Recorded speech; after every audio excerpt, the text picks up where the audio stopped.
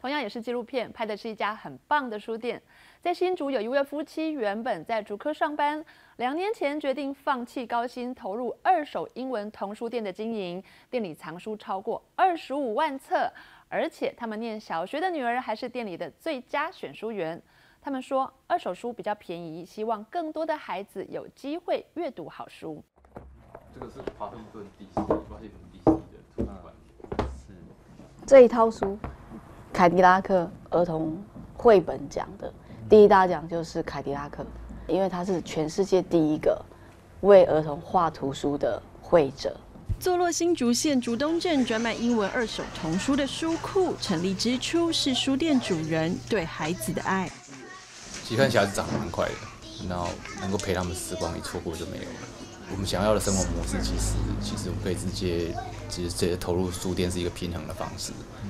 对他或许收入上面会巨减，但是其实它就是我们理想的一个生活的模式，可以整天跟小孩子相处在一起，埋在书堆里面。其实，其实我们觉得它就是我们所渴望的方式。专注于英文童书，来自于希望能让更多的小朋友看见来自国际的创意。像，哎，昨天我儿子在玩那个，像这个。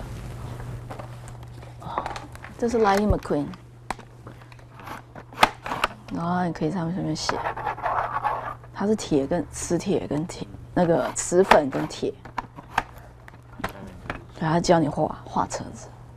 美国书真的很多，我们台湾不会有那样的书，对，但是他们就很鼓励小朋友去学这些有的没有的，对。这里很多的书其实是台湾书上从来不会进的，嗯，对，因为。就是有关于其他的好，例如美国原住民文化，或者是黑人文化。二手书的选择，则是希望借此压低价格，进而让更多的孩子有机会阅读好书。但如果价价钱降到一定的临界点的时候，父母会很乐于让小朋友自己去挑他们自己所喜欢的书。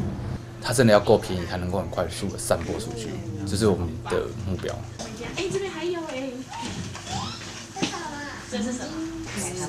开店两年，店里的书已累计超过二十五万本。对走进店里的家长和小朋友来说，书架上堆叠的是来自世界各地的创意与惊奇。对书店主人而言，分享阅读这件事也早已不再只是说说而已的梦想。